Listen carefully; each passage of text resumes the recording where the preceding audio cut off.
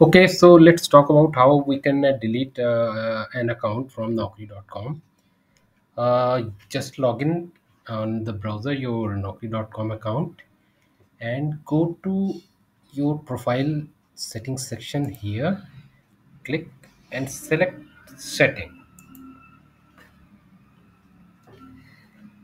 In communication and privacy, communication and privacy section, you have to scroll down and here you will see not looking for a job change right now. Just click on read more here and you will get the option for deactivation as well as for deleting your account. Just select here delete account and select any reason you want to leave. Suppose i am uh, selecting i am not receiving relevant jobs. And after that click on delete account. Now you have to enter here your password to reconfirm your this activity as soon as you will enter your password here and click on delete account and log, log out you will get the uh, message that your account will be deleted soon. Thank you for watching